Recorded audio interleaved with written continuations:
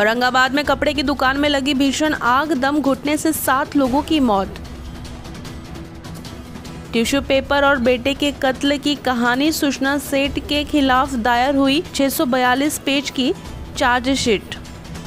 लोकसभा चुनाव से पहले महाराष्ट्र में भाजपा को लगा बड़ा झटका। उन्मेष पाटिल आज होंगे उद्धव गुट में शामिल। जालसाजों ने खुद को बताया, कुरियर फार्म सरकारी एजेंसियों का अधिकारी महिला से ठगे 80 लाख रुपए। उद्धव ठाकरे ने कल्याण से पूर्व मनसे नेता वैशाली को दिया टिकट, मुंबई उत्तर सीट को लेकर भी खोले पत्ते।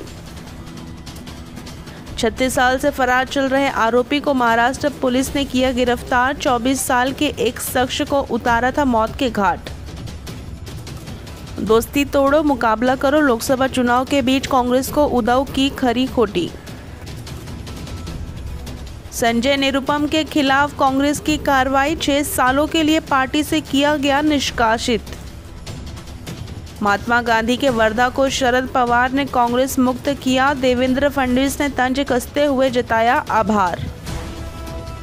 प्रधानमंत्री नरेंद्र मोदी के फुटेज को ज़बरदस्ती शूट करना, दो पत्रकारों को पड़ा भारी, मुंबई पुलिस ने किया मामला दर्ज। देखते रहिए हमारे साथ नवयुग शक्ति न्यूज़ और ऐसे ही लेटेस्ट खबरों के लिए सब्सक्राइब करें चैनल को और फॉलो करें हमारे फेसबुक